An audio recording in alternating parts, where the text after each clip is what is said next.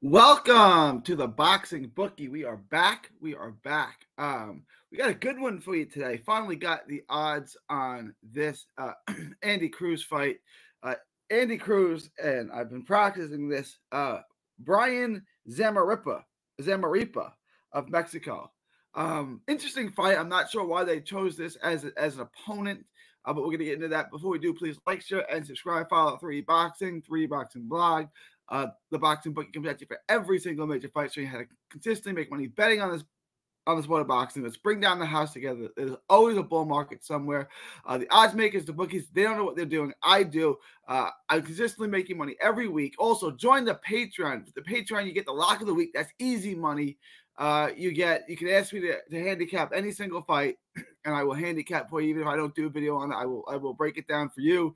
Uh, you get a free T-shirt. There's there's a, a lot to it. It's just five. It's just five dollars a month. It's just five dollars a month to join the Patreon. Put a lot of work to these videos. Let, let me pump them up for you.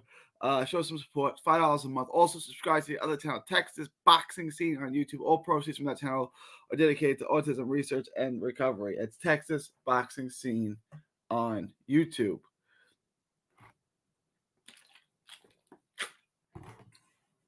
Um losing my brain here. All right, let's let's get into the fight.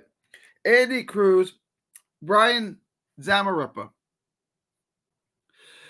You know, Andy Cruz is that dude, Olympic superstar. Oh, I meant to go back and watch this fight with uh Keyshawn. I, I forgot to watch it. Uh, not that it matters. Um, he's only had two pro- fights. One uh, Burgos, I, thought initially watching the performance, I thought it was just eh. I, I watched it again. and I was impressed. I, I missed a lot. I, I, overlooked a lot when I watched it live. I, I went and watched it again, um, and the Burgos performance, he, he, showed off a lot of the skills that I maybe overlooked watching it live. Uh, and then in the second fight with Stafford, he was absolutely incredible, lights out, like a, a star-making performance. Um, Andy Cruz is it it, how quickly has he moved? You know, Eddie Hearn said he wanted to fight Tank Davis for his uh, pro debut. Obviously, that was ridiculous. Um, let's get into a little bit with Andy Cruz. I mean, I don't need to go over this with you. I mean, I'm not telling you guys anything you don't know. Excellent speed, skills, the reflexes are second to none. Great movement, super, super sh- uh, sharp with the strike right. He, straight right. He also has the ability to switch southpaw. Not that I see him doing that, but he's done it a little bit. He's a great combination puncher. Obviously, he throws combinations from all odd angles, all all angles. He mixes up his punches. He judges distance as well. He can throw every single punch on the inside. There's nothing he can't do. The, the uppercuts, the hooks.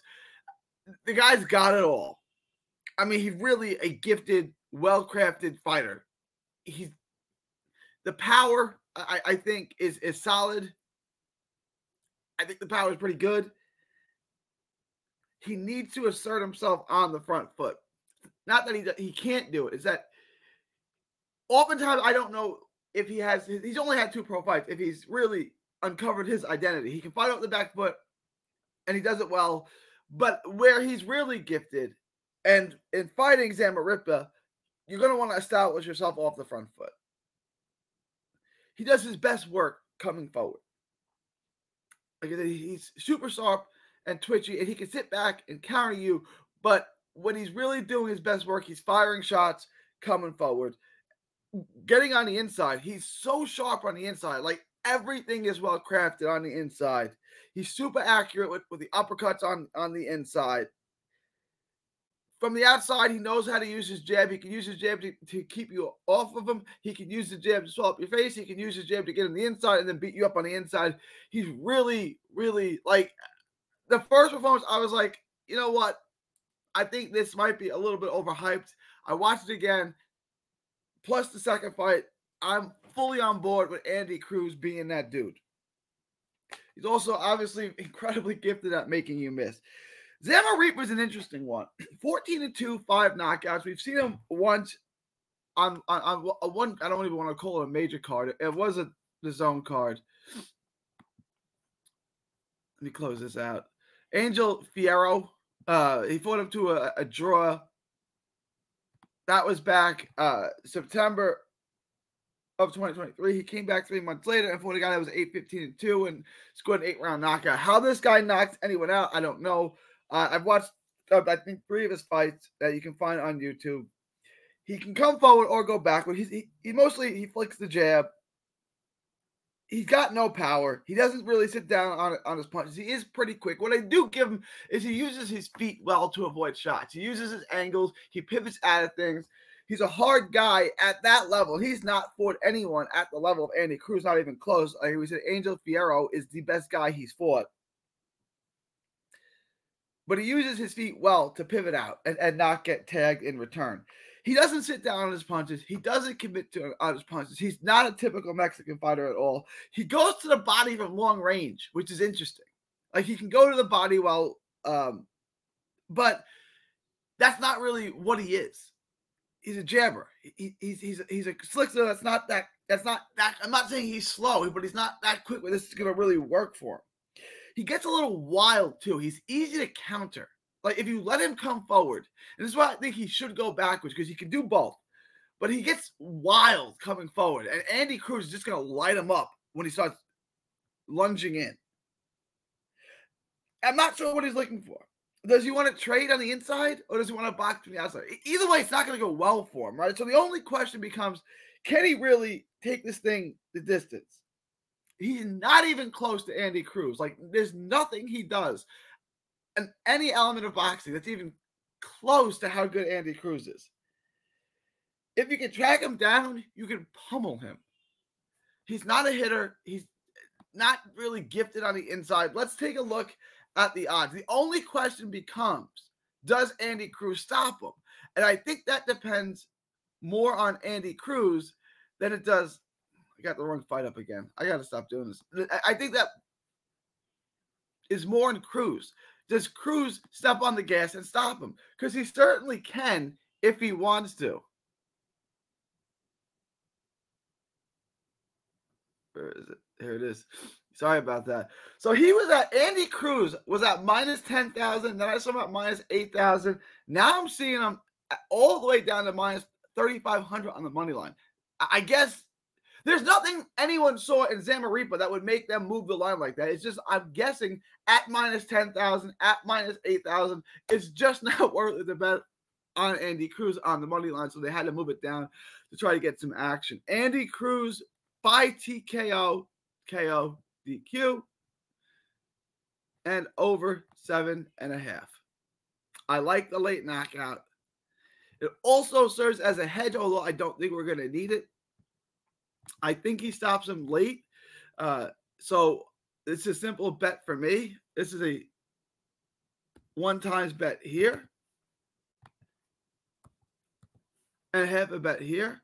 So a $150 bet makes you $195, $194.44. It makes you 100 $194. Well, it makes you $94. You're clear 194. So it's a pretty good bet on what it is you can make that a, a, full bet if you want to. I'm doing it like this.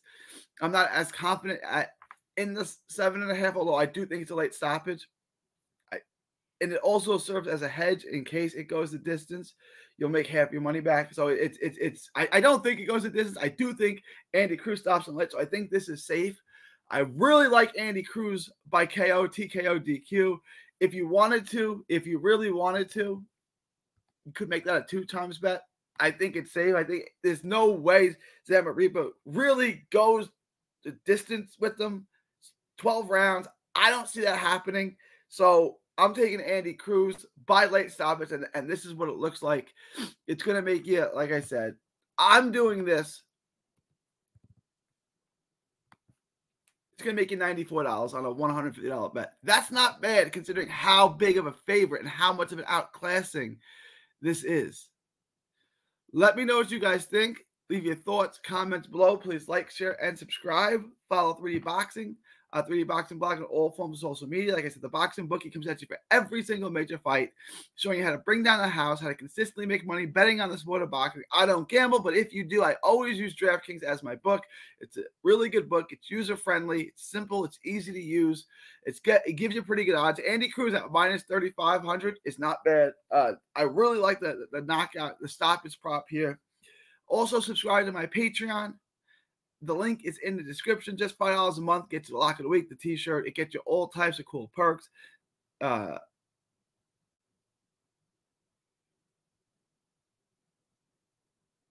and also subscribe to the other channel, Texas Boxing Scene on YouTube. That's Texas Boxing Scene. All proceeds go to autism research and recovery.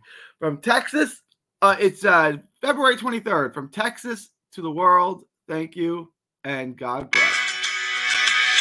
Don't miss a tweet, post, story, or video. 3D Boxing is on Twitter, Instagram, and Facebook.